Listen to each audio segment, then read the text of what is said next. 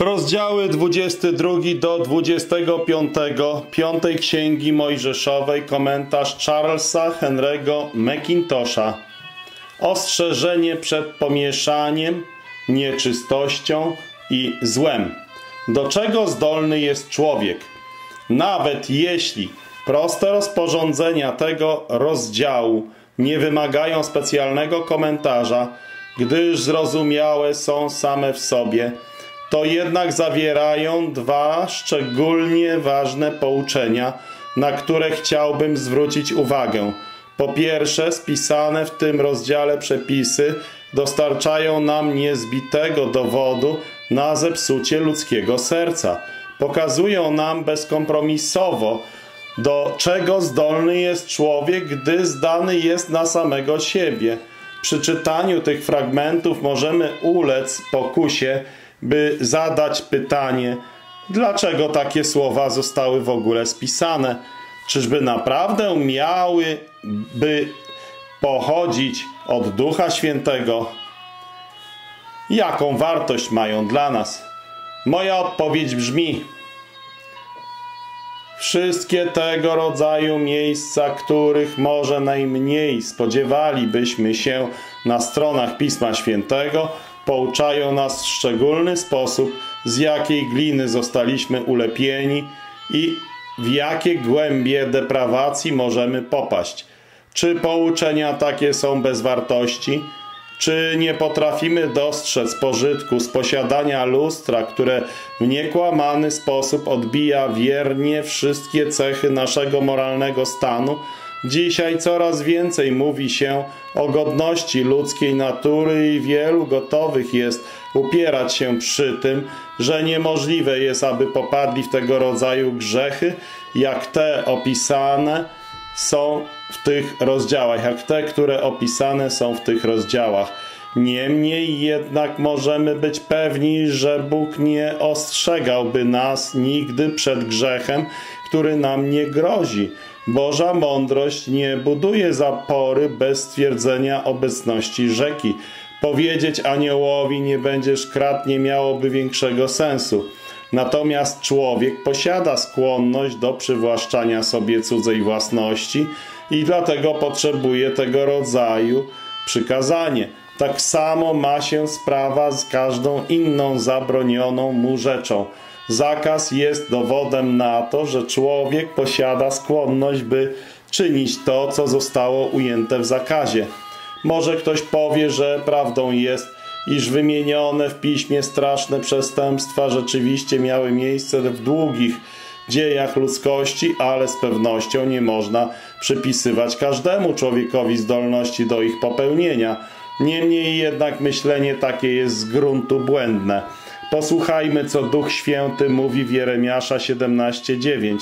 Podstępne jest serce, bardziej niż wszystko inne i zepsute, któż może je poznać? O czyim sercu jest mowa? O sercu przestępcy i szaleńca? Nie, o sercu człowieka, sercu autora i czytelnika tych linijek. Tak więc Pan Jezus powiedział, z serca bowiem pochodzą złe myśli, zabójstwa, cudzołóstwa, rozpusta, kradzieże, fałszywe świadectwa i bluźnierstwa. Mateusza 15 rozdział, 19 werset. Czy Pan mówi tutaj o wyrzutkach społeczeństwa? O nie, lecz o mnie i o Tobie. Gdyby Bóg choćby na chwilę oddalił od nas swoją zachowawczą łaskę, wszyscy musielibyśmy popaść w najgorsze występki. Możemy naprawdę powiedzieć z wdzięcznym sercem, że to Jego łaskawa ręka zachowuje nas w każdej chwili, abyśmy nie stali się rozbitkami według ciała, duszy i ducha. Nie ma rzeczy, które byłyby Bogu obojętne. Jak już powiedziałem na początku, rozdziały, którymi się zajmujemy od 22 do 25 zawierają jeszcze inną lekcję.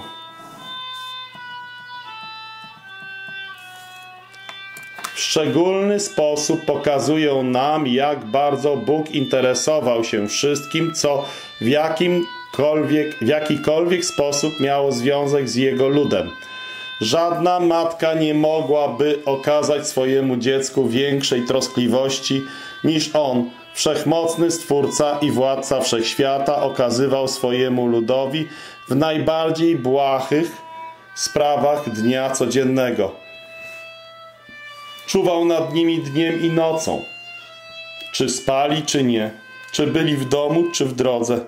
Ich odzież, ich pokarm, ich zachowanie względem siebie, budowanie ich domów, oranie i obsiewanie ich pól, ich postępowanie w najbardziej osobistych dziedzinach ich życia, nad wszystkim czuwał z zadziwiającą sumiennością, która napełnia nas podziwem, wdzięczną miłością i uwielbieniem. Widzimy zatem, że dla naszego Boga nie ma rzeczy nieważnych, gdy chodzi o Jego lud. Z czułością i prawdziwie ojcowskim zainteresowaniem myśli o naszych, nawet najbardziej banalnych sprawach. Najwyższy, ten, który podtrzymuje cały wszechświat, uniża się, by wydawać rozporządzenia odnośnie ptasiego gniazda, jednak dlaczego mielibyśmy się dziwić, skoro wiemy, że dla niego nie ma znaczenia, czy codziennie karmi miliony ludzi, czy też jednego wróbla. To wiązało się jednak z pewnym faktem. To wiązało się jednak z pewnym poważnym faktem – który każdy Izraelita winien był mieć na względzie. Obecność Boga w pośród Jego ludu. Świadomość o Jego obecności miała decydować o ich postępowaniu i kierować nimi we wszystkich podejmowanych krokach i decyzjach, gdyż Pan, Bóg Twój, przechadza się po Twoim obozie, aby Cię ratować i wydać Tobie Twoich nieprzyjaciół. 23 rozdział, 15 werset.